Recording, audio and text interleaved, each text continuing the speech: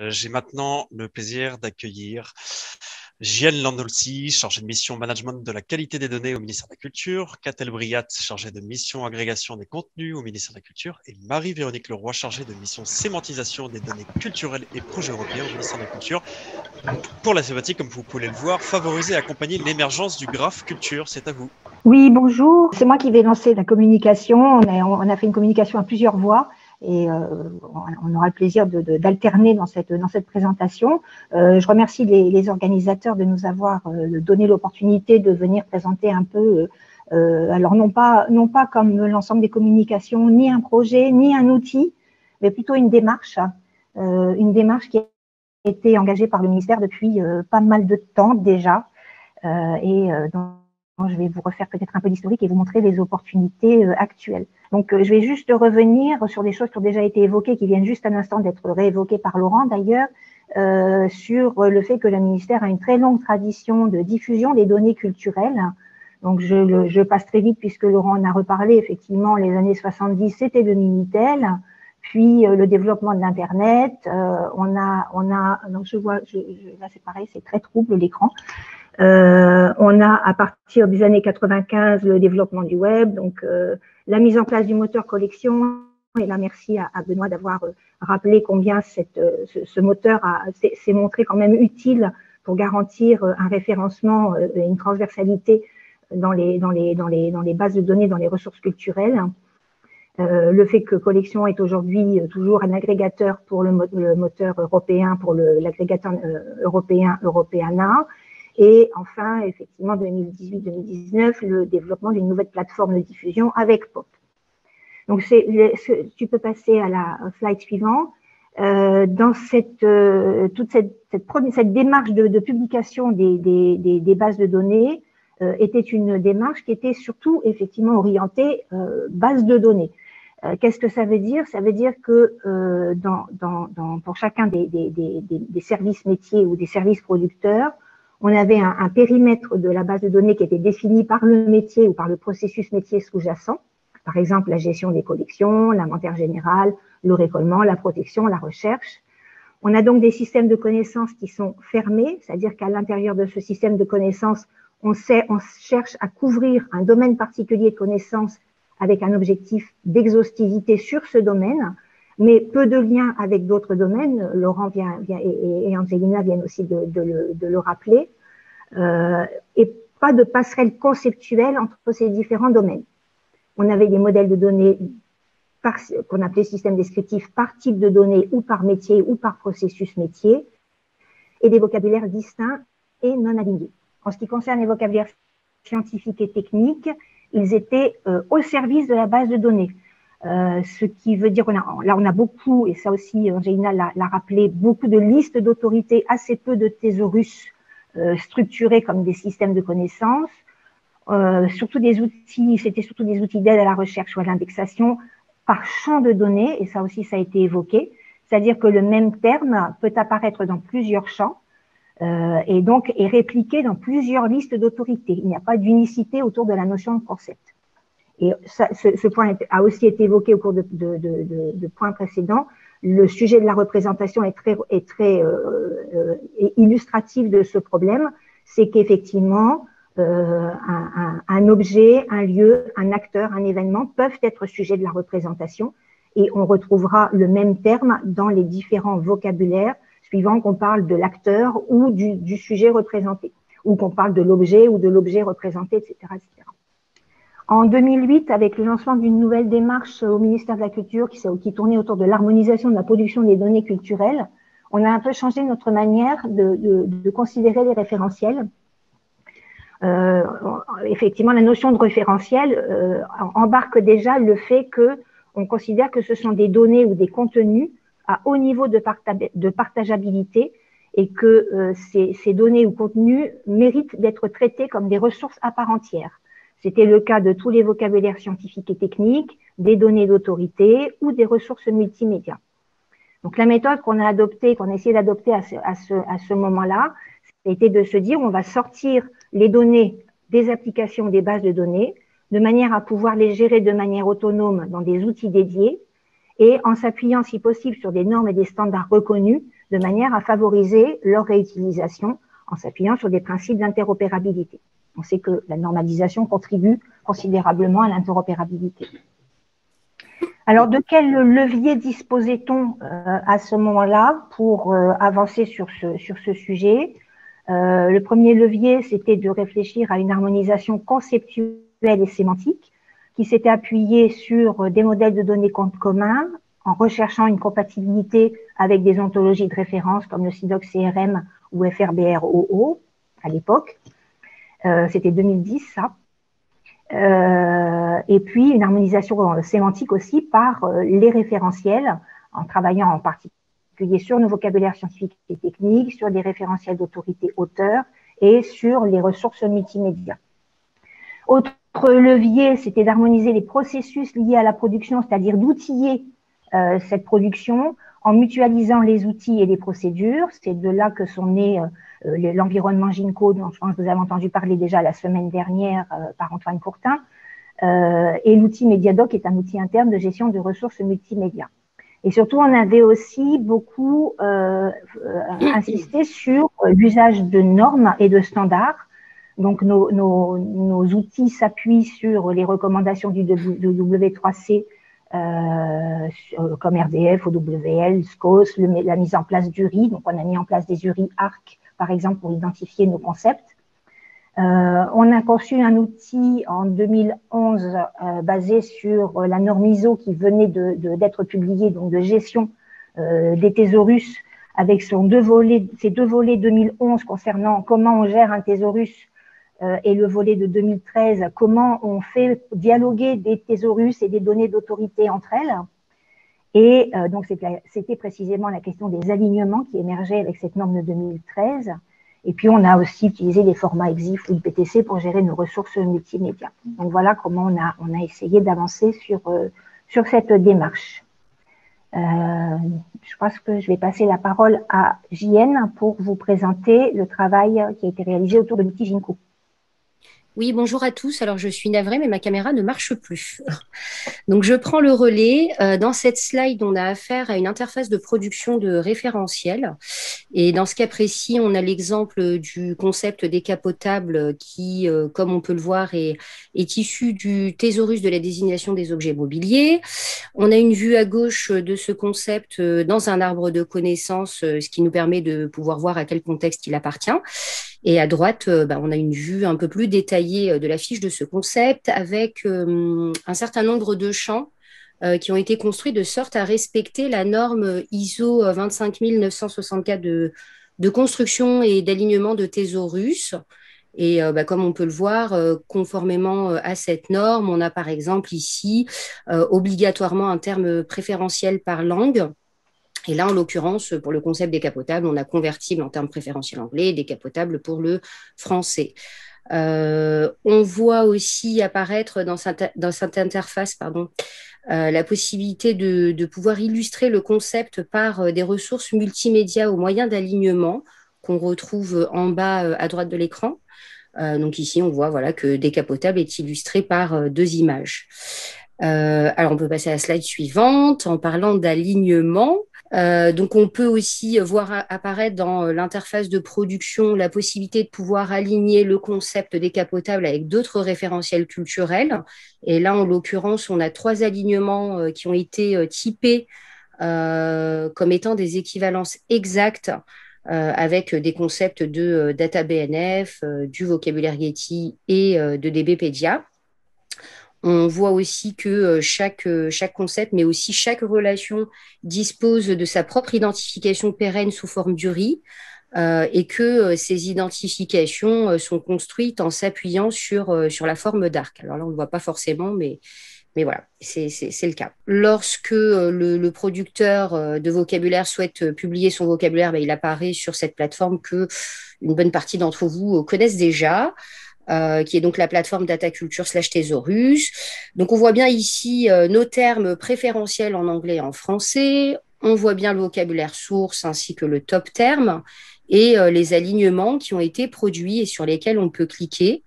on peut aussi lancer automatiquement une recherche sur le moteur collection qui est un agrégateur et on a aussi la possibilité de pouvoir récupérer ces données, on, le voit en bas à gauche, en téléchargement sous forme de données brutes. Donc là, on peut passer à la slide suivante. Et donc là, on, voit justement qu'on peut récupérer ces vocabulaires au moyen des, des trois formats de sérialisation bien connus. Euh, que sont le euh, RDF XML, le N3 et euh, le Turtle. Donc dans la slide suivante, on voit qu'on peut aussi requêter sur cette plateforme les vocabulaires au moyen d'un Sparkle Endpoint.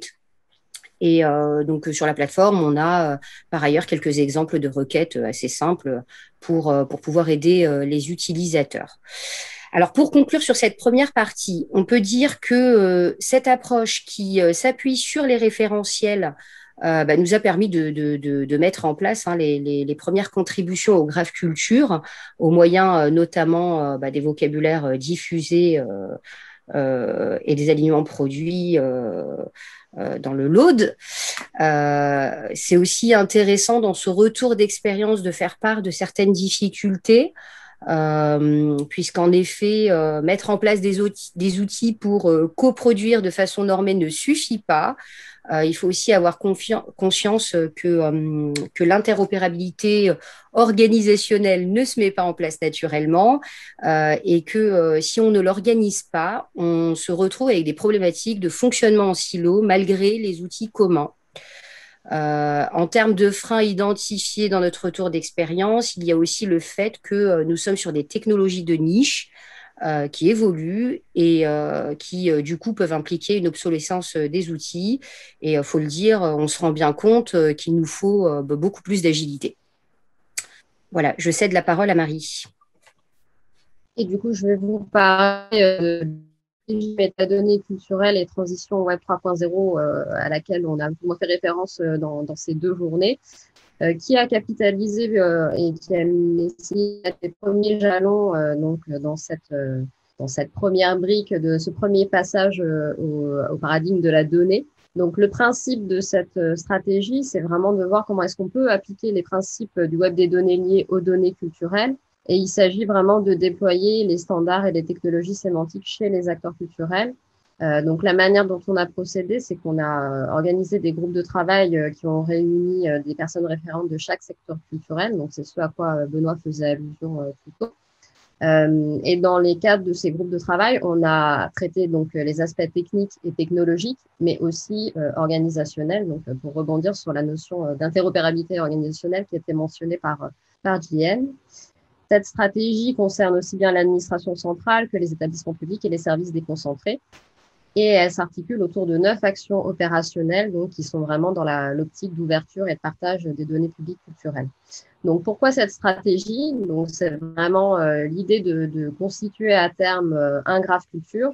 Euh, et ce graphe culture a vocation à être vraiment le, le, graphe de connaissances du ministère de la Culture.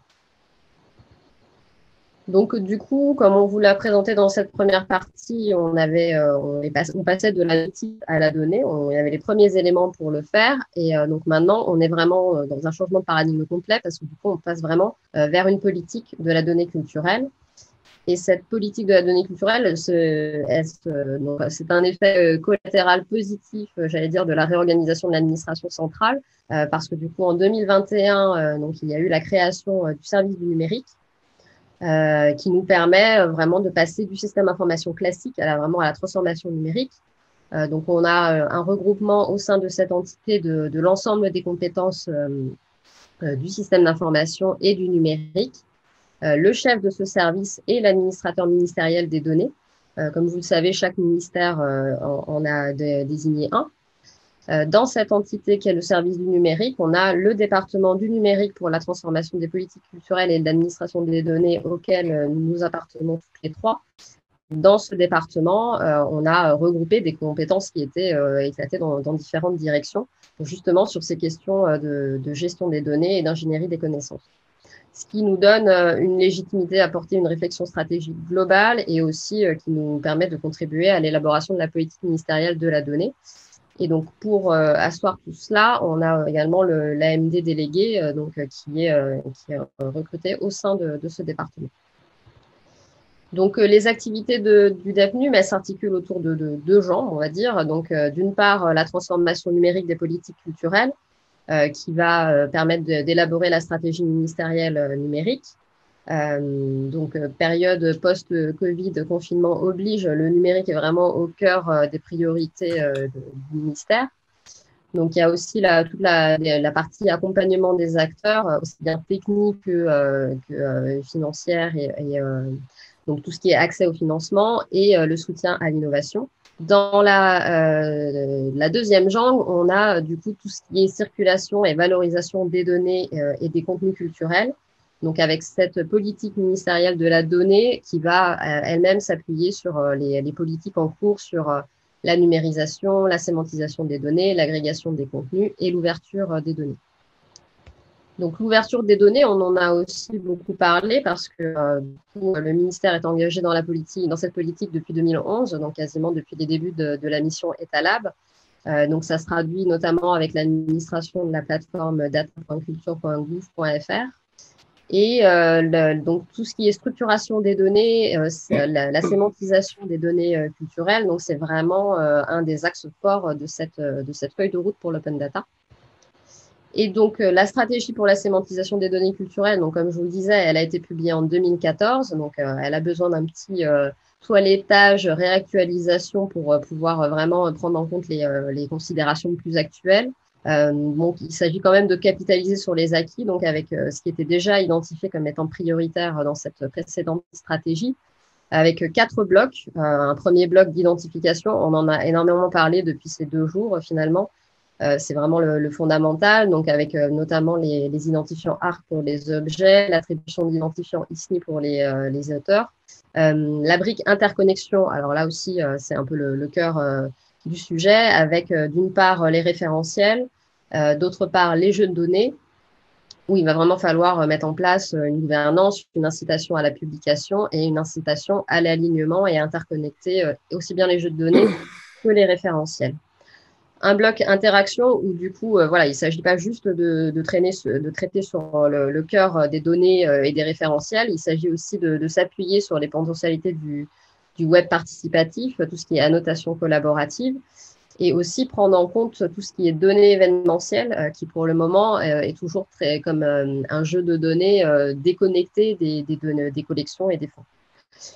je termine par le, dernier bloc qui n'est pas le, le, le plus, enfin le, moindre, parce que du coup, il y a tout ce qui est veille technologique, donc qui se traduit notamment par notre collaboration avec, avec INRIA, donc euh, INRIA euh, qui a permis notamment de, développer Semanticpedia qui était évoqué par, Laurent Manœuvre plus tôt. le DBpedia qui va justement aussi profiter de, de, de, ce, de, cette convention cadre pour pouvoir être actualisé. On a beaucoup parlé de Wikidata. Euh, donc là, il y a aussi une volonté côté DBpedia de, de renforcer du coup toute la puissance de l'algorithme euh, parce que du coup, euh, DBpedia est constitué automatiquement, les mises à jour se font euh, automatiquement. Donc, si on fait des liens avec la communauté de Wikidata et du coup aussi si on ajoute d'autres éléments comme le traitement automatique des langues, on a moyen d'avoir vraiment un, un fond, un potentiel de, référentiel assez important. Donc ça, ça fait partie des éléments sur lesquels on travaille. Euh, un autre élément qui est le programme de formation. Euh, parce que du coup, comme vous l'avez euh, compris, notre, euh, notre démarche, c'est vraiment d'accompagner les producteurs de, de, données dans leur démarche. et du coup, cette notion et cette sensibilisation sur les problématiques d'ouverture et de structuration des données, elle doit être prise en compte le plus en amont possible pour que vraiment on puisse, d'une part, donner tout le crédit et la responsabilité qui reviennent aux établissements qui produisent ces données, et également euh, les inciter dès le, dès le, départ à adopter euh, les bonnes pratiques et, les, euh, respecter les standards. Enfin, une autre question qui a été évoquée en pointillé pendant ces deux journées, c'est la question de la traçabilité des données sémantisées. on va avoir de plus en plus de, de, jeux de données qui vont, qui vont paraître, de plus en plus de données qui sont publiées. au bout de la 15e réutilisation, se pose la question de la, de la traçabilité de ces données et du degré de confiance qu'on peut leur accorder. Et du coup, évidemment, le, ministère a un rôle fondamental à jouer dans euh, la mise en œuvre des, standards qui s'appliquent sur cette, euh, cette, question de traçabilité des données sémantisées. Donc là, c'était pour la partie capitalisation sur les acquis, mais du coup, on a aussi d'autres préoccupations, notamment pour cette nouvelle feuille de route qui sera publiée pour la fin de l'année. donc l'idée, c'est vraiment d'expérimenter, d'accompagner et de produire des recommandations et vraiment de commencer à dessiner ce, ce culture. Et on va justement aborder certains des axes que j'ai déjà plus ou moins évoqués, donc euh, certains nouveaux. Euh, les nouveaux, on a tout ce qui est interface et visualisation de données liées parce qu'on s'est beaucoup concentré sur les coulisses dans, dans la stratégie précédente. Donc là, l'idée, c'est aussi de voir comment est-ce qu'on peut exploiter au mieux euh, la richesse des graphes de connaissances. Euh, toute la question des standards de métadonnées, parce que du coup, ça rebondit euh, beaucoup euh, sur la question qui a été posée précédemment, donc sur les modèles, les questions d'harmonisation. Euh, et aussi euh, le, besoin d'outils et de connaissances des modèles existants et de comment est-ce qu'on peut guider euh, les établissements à se lancer dans ces démarches de modélisation des données. les données événementielles, le graphe culture, la traçabilité, je l'ai déjà évoqué, et la politique d'identification. Donc là, il est en dernier, mais c'est aussi l'élément par lequel j'aurais dû commencer. Euh, aussi pour rappeler qu'il s'agit d'une question technique, peut-être technologique, mais avant tout politique, euh, parce que s'il n'y a pas de gouvernance et s'il n'y a pas de politique d'identification au sein d'un établissement, euh, il n'y a pas vraiment de, de, enfin de moyens de, pouvoir assurer l'unicité et la pérennité des identifiants.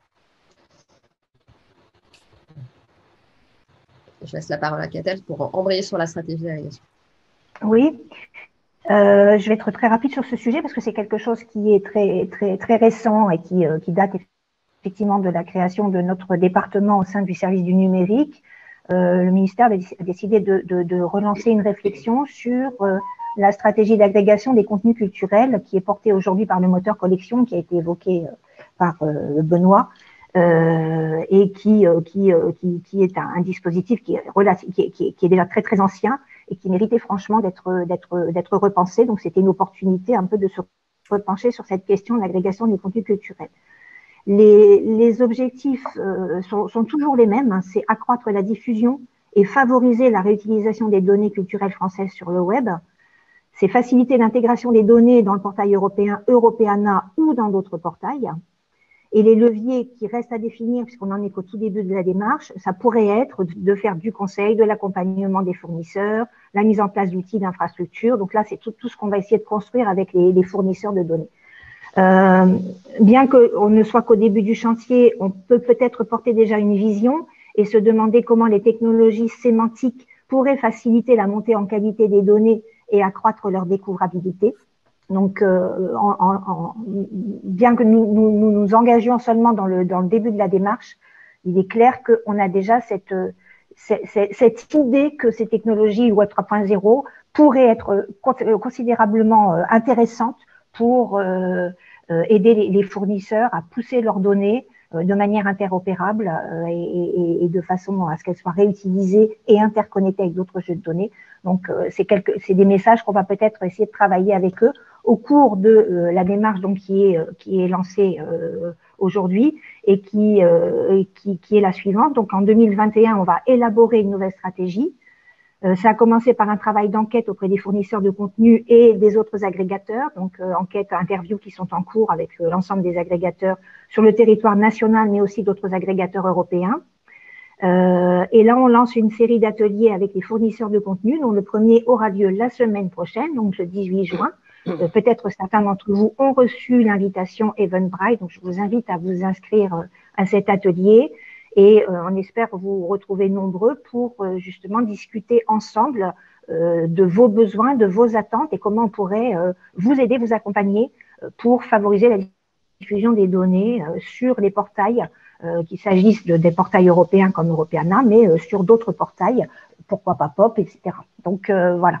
Et la, la deuxième, la, la, deuxième euh, tranche de, de, de, de, ce travail sera bien sûr, une fois la stratégie définie, de la mettre en œuvre en fonction de ce qui aura été décidé au cours de, ces, de ces chantiers communs de, de, co-construction d'une nouvelle démarche. Et euh, de, ce sera 2022-2023 pour, pour la mise en œuvre. Et je repasse la parole Alors, au, sujet de la stratégie management de la qualité des données, nous sommes en train euh, d'écrire une feuille de route qui vise à accompagner euh, les métiers dans la montée en qualité des données et elle va également euh, contribuer à soutenir évidemment la stratégie ministérielle de sémantisation des données. Cette feuille de route, comme vous pouvez le voir, va s'articuler autour de trois grands axes. L'un euh, qui, comme le disait tout à l'heure Marie, euh, vise à acculturer et accompagner euh, les services métiers au travers notamment de formation à des normes comme la norme ISO, des standards, etc. Un autre axe qui consiste à mettre en place des processus organisationnels ainsi que de la gouvernance, conformément un peu à notre retour d'expérience. et puis un dernier axe qui, lui, va plutôt correspondre à une offre de services opérationnels grâce à laquelle on va pouvoir proposer de l'accompagnement pour du nettoyage, alors là, plutôt informatique au moyen d'algorithmes en se faisant aider de, nos prestataires. Euh, et, aussi de la montée en qualité, là pour le coup plutôt euh, scientifique, euh, sur par exemple de la désambiguisation de concepts ou des choses de ce type-là. Donc nettoyage et montée en qualité de jeux de données. Et dans cette offre de service, il y a également la partie outillage qu'on va mettre à jour et la co-construction de doctrines, de méthodes et de normes. Euh, je précise juste que cette feuille de route est en cours de construction, donc euh, à ce stade de la présentation, rien n'est figé et on sera au contraire euh, très à l'écoute de toute proposition ou alerte constructive pour la communauté. Voilà. Et donc, je continue avec euh, les perspectives, juste deux petits slides pour conclure. Euh, donc, euh, c'est juste pour vous présenter de façon un peu synthétique, du coup, qu'il y a cette politique de la donnée culturelle, donc qui est qui va, qui est en cours de constitution et comme je l'ai déjà dit aussi, qui s'articule autour de, des questions d'ouverture, de sémantisation, de qualité et d'agrégation des contenus. Et du coup, qui prendra forcément en compte ces trois aspects qu'on a déjà largement évoqués pendant tout au long de la présentation, que sont la gouvernance et le pilotage, euh, l'outillage et le guide, la culturation et la formation qui est en dernier, mais qui est le plus important. Euh, parce que du coup, il y a aussi cette volonté d'harmoniser les efforts, qu'on n'ait pas des entités qui se retrouvent à faire des choses toutes seules dans leur coin et qui ne seraient pas dans le respect des, standards et des bonnes pratiques. Euh, donc ça, c'est vraiment un point sur lequel je tiens à assister.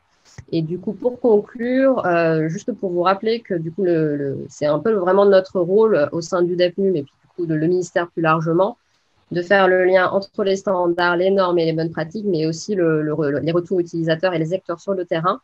Et je rappelle aussi que du coup, avant de pouvoir se lancer dans les démarches de données, il faut surtout connecter des personnes et des organisations qu'elles soient prêtes à collaborer pour qu'on puisse euh, avancer plus avant. Et du coup, euh, sur tout ce qui est euh, besoin des producteurs et réutilisation euh, réutilisateurs, on est vraiment à votre écoute, donc n'hésitez pas à vous solliciter. Et je, me suis quand même, euh, j'ai pas résisté à l'envie de vous montrer ce, petit plan de, de Persil euh, qui montre que le graphe culture ne va pas faire émerger sous vos yeux comme ça en faisant juste un pop. C'est quelque chose qui va se construire vraiment et qui va pousser petit à petit, branche par branche, ramification par ramification, et du coup, euh, les initiatives qui ont été euh, déjà présentées sont vraiment des, premières branches de, ce graphe euh, sur lequel on continue de travailler. Merci beaucoup pour votre attention. Et vous avez là tous les contacts des personnes ressources au sein du département.